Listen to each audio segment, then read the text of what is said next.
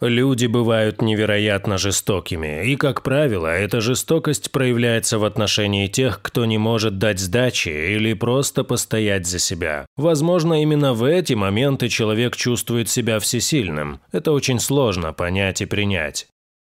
Жозиана Алмейде, спасателю из Бразилии, сообщили о том, что далеко за городом кто-то бросил собаку со щенком. Женщина тут же взяла своего мужа и отправилась туда. Неизвестно, как долго собака-мама и ее детеныш находились там. Прибыв на место, Жозиан и ее муж не могли поверить своим глазам. Посреди дороги лежал мешок, из которого торчала голова собаки. Рядом с ней крутился щенок, который всячески пытался помочь маме выбраться, но у него ничего не получалось. Но что поразило спасателей больше всего, так это писк, который доносился из мешка. Внутри находились другие щенки. К счастью, помощь подоспела вовремя, и все четверо щенков не пострадали. Малыши были очень напуганы и голодны, но они были живы, и это главное. Жозиан привезла семейство к себе домой, чтобы накормить их, напоить и дать отдохнуть и прийти в себя после такого ужасающего испытания. Когда все песики пришли в себя, женщина доставила их на осмотр к ветеринару. Малыши были полностью здоровы, а вот у их мамы обнаружилась опухоль, которая требовала срочного лечения. Химиотерапия требовала денежных средств, и Жозиан попросила помощи в сети. Эта история спасения так тронула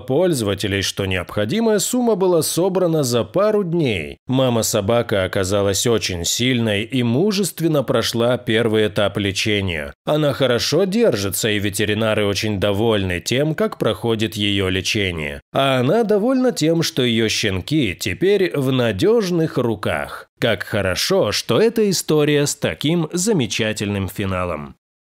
Дорогие друзья, если вам понравилось видео, поставьте лайк, а также подписывайтесь на канал, где найдете еще много интересного.